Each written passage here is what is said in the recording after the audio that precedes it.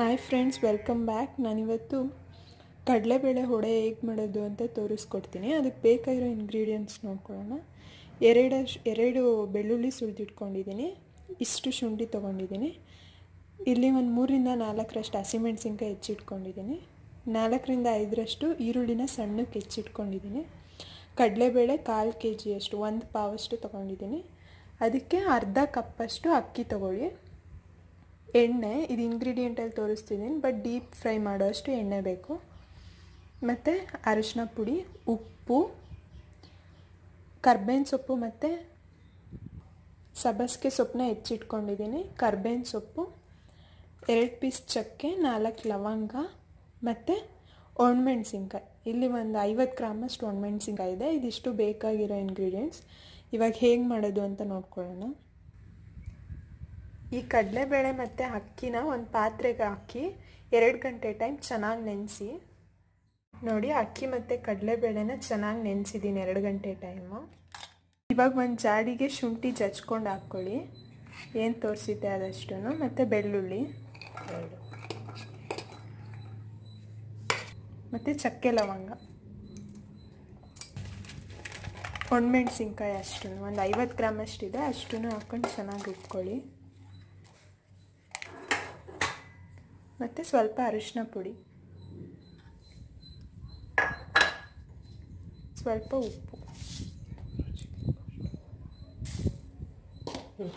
ಇದಿಷ್ಟನ್ನು ಚೆನ್ನಾಗಿ ಒಂದ್ಸಲ ರುಬ್ಕೊಳ್ಳಿ.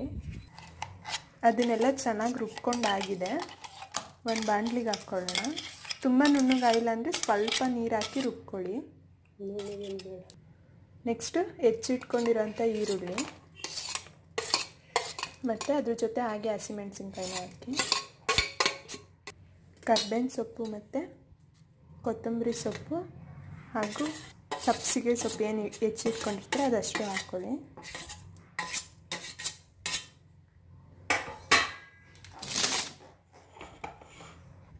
ಇವಾಗ ಅದೇ ಜಾರಿಗೆ ಅಕ್ಕಿ ಮತ್ತು ಕಡಲೆಬೇಳೆನ ಹಾಕ್ಕೊಂಡು ರುಬ್ಕೊಳ್ಳಿ. ಕಡಲೆಬೇಳೆ ಅಕ್ಕಿನ ರುಬ್ಕೊಂಡಾಗಿದೆ. ಸ್ವಲ್ಪ ದಪ್ಪ ದಪ್ಪನೇ ಇರಲಿ. ತುಂಬ ನುಣ್ಣು ಬೇಡ. ಇಷ್ಟು ಸಾಕು. ಹಾಗೆ ಎಲ್ಲ ಕಡಲೆಬೇಳೆ ಅಕ್ಕಿನ ಚೆನ್ನಾಗಿ ರುಬ್ಕೊಳ್ಳಿ. ಅಷ್ಟನ್ನು ಚೆನ್ನಾಗಿ ರುಬ್ಕೊಂಡು ಚೆನ್ನಾಗಿ ಕಲಿಸ್ಕೊಳ್ಳಿ. ಎಲ್ಲದನ್ನು ಸೇರಿಸ್ಕೊಂಡು. ನೋಡಿ, ಕಲಿಸ್ಕೊಂಡಾದಮೇಲೆ ಈ ಥರ ಮೀಡಿಯಮ್ ಸೈಜಲ್ಲಿ ಉಂಡೆ ಮಾಡಿ ಇಟ್ಕೊಳ್ಳಿ. ಎಲ್ಲದನ್ನು. ಈ ಥರ.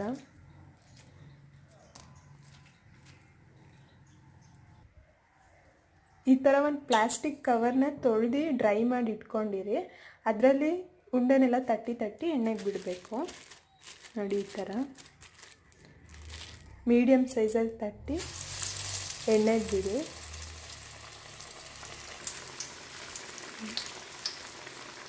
ಹಿಂಗೆ ತಟ್ಕೊಂಡ್ರೆ ಸಾಕು. ಎಣ್ಣೆಗೆ ಬಿಡಿ ಚೆನ್ನಾಗಿ. ಮೀಡಿಯಮ್ ಫ್ಲೇಮಲ್ಲಿ ಇಟ್ಕೊಳ್ಳಿ.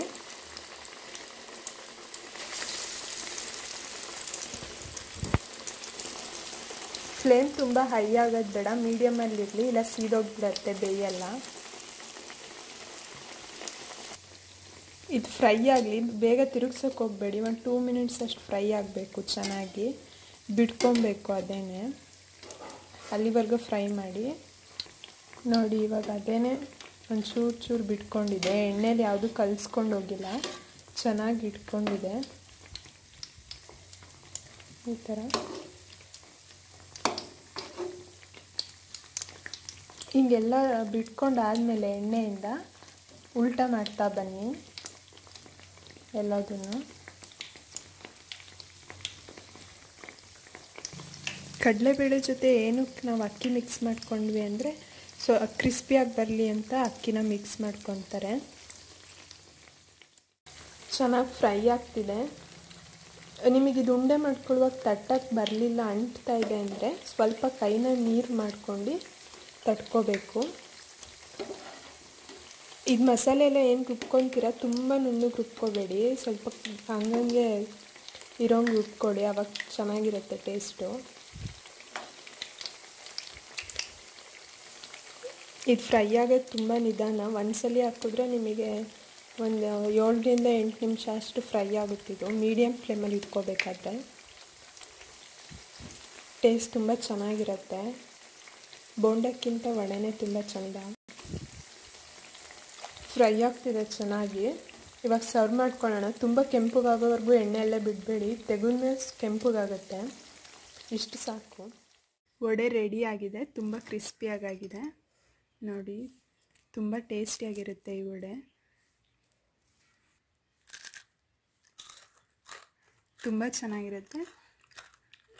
ಈ ರೆಸಿಪಿ ನಿಮ್ಗೆ ಇಷ್ಟ ಆದರೆ ಲೈಕ್ ಮಾಡಿ, ಕಮೆಂಟ್ ಮಾಡಿ. ಹಾಗೂ ನಮ್ಮ ಚಾನಲ್ಗೆ ಸಬ್ಸ್ಕ್ರೈಬ್ ಆಗಿ